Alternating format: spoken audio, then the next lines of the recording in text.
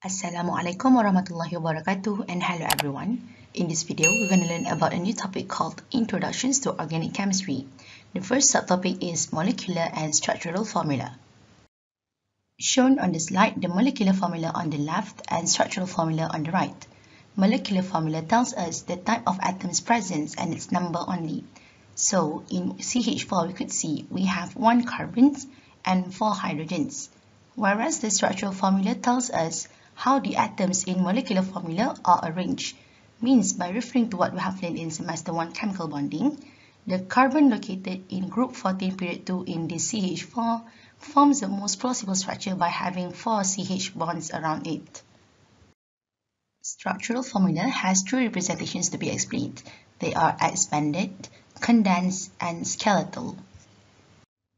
Expanded structure shows all covalent bonds between atoms as shown example on the slide for one propanol and one propene. We could say this carbon-hydrogen bond is shown, carbon-oxygen bond is shown, oxygen-hydrogen bond is shown. As well as for the propene, the carbon and carbon double bond is shown together with the carbon-hydrogen bond is shown. Although it shows all bond presence, it does not represent the actual shape of the molecule.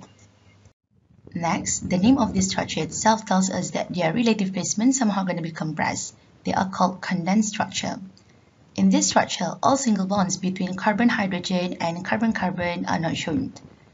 To show heteroatoms, other than the carbon or functional groups or alkyl groups that attach to the carbon backbone we have in organic structure, it will require the use of the bracket or sometimes a single bond. If a cyclic structure is condensed, then the carbon-carbon single bond that make them cyclic need to be shown. Let's see how this expanded structure of 2-propanol is condensed. To form condensed structure, you need to first identify the heteroatoms or functional group or alkyl group that is attached to the carbon chain. In 2-propanol, we have functional group of OH.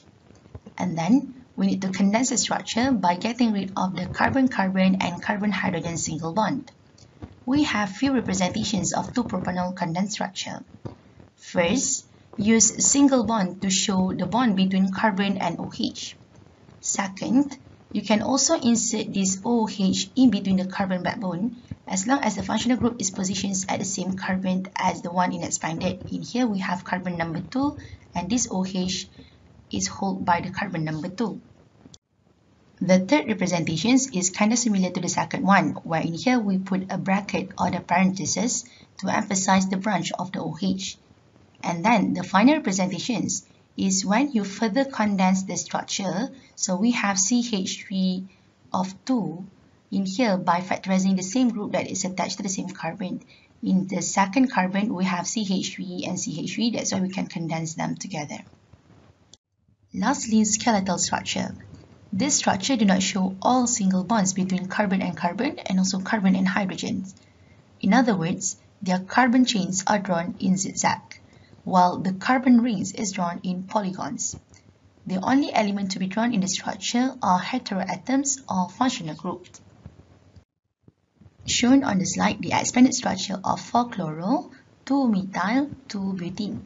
This structure has carbon chain only, so the first step is to form skeletal structure by drawing the zigzag of carbon. Count how many carbon that forms the longest chain. In this structure, we have 1, 2, 3, and 4. There you go, a zigzag containing 4 carbons. And then you need to look out for any carbon that has branch of alkyl group. So we have alkyl group attached to carbon number 2.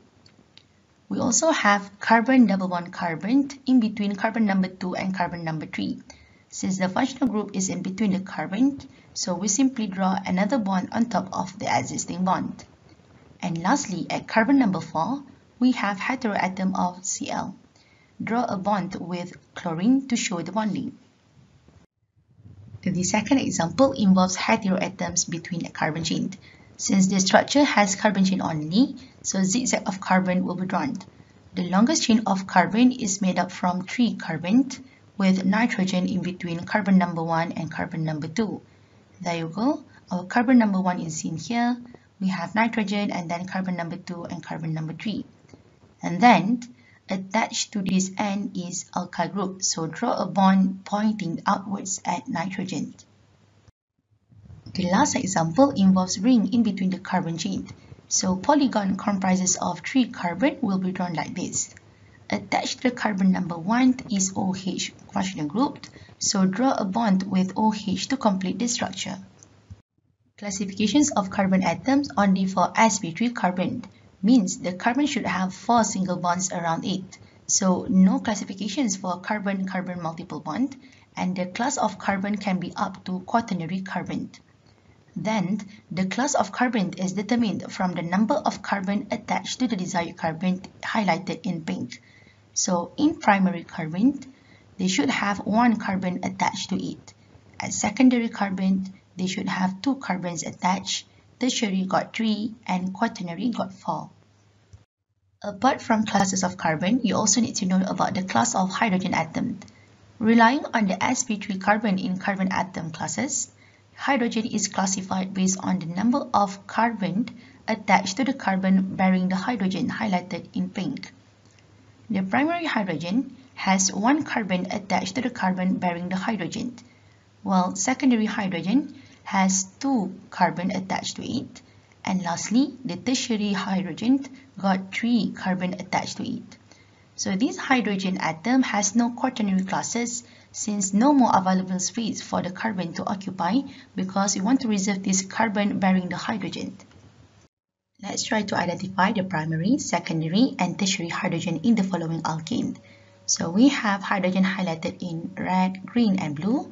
They are all belongs to different classes of hydrogen. Let's have a look at the carbon bearing the red hydrogen first. This carbon bearing the hydrogen, directly attached to it, we have only one carbon. Means all nine hydrogen highlighted in red belongs to primary hydrogen. And then for the blue one, this carbon bearing the hydrogens in blue, directly attached to it, we have two carbons. Therefore, we have two hydrogens in secondary class. And lastly, carbon bearing the hydrogen in green, 1, 2 and 3 carbons is directly attached to it. Therefore, this hydrogen belongs to tertiary hydrogen. That's all for subtopic 4.1 molecular and structural formula. Thank you.